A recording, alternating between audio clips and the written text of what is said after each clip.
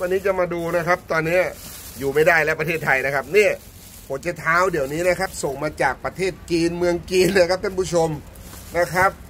นี่เฟสดาชินะครับ เดี๋ยวนี้มาจากเมืองจีนแล้ว รถไฟจากประเทศจีนมาสู่ประเทศลาว ไม่ว่าจะผักผลไม้ต่างๆ ของดีๆ ราคาไม่แพงนะครับ เดี๋ยวนี้เอามาจากเมืองจีนหมดแล้วดูดิเอายกให้ดูดิบอลหัวนึงสวยไหมดูเลยครับเนี่ยราคาเขาก็ไม่ได้แพง เกษตรกรไทยอยู่ไม่ได้แล้วครับ ตอนนี้รถไฟจีนขนผักเข้าเวียงจันทร์เข้าตลาดไทยกันหมดแล้วดูดิดูดิเป็นดุนเป็นดุนแบบเนี้ย ไม่เหลือครับ ไม่เหลือไม่เหลือ เกษตรกรไทยอยู่ไม่ได้แล้วครับ ดู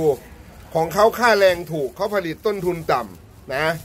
นี่แหละครับ ดู ผมไม่ได้พูดเล่นและไม่ได้ตัวนะครับ ดูเฟสดาชินะครับโปรดักออฟไชนีสดู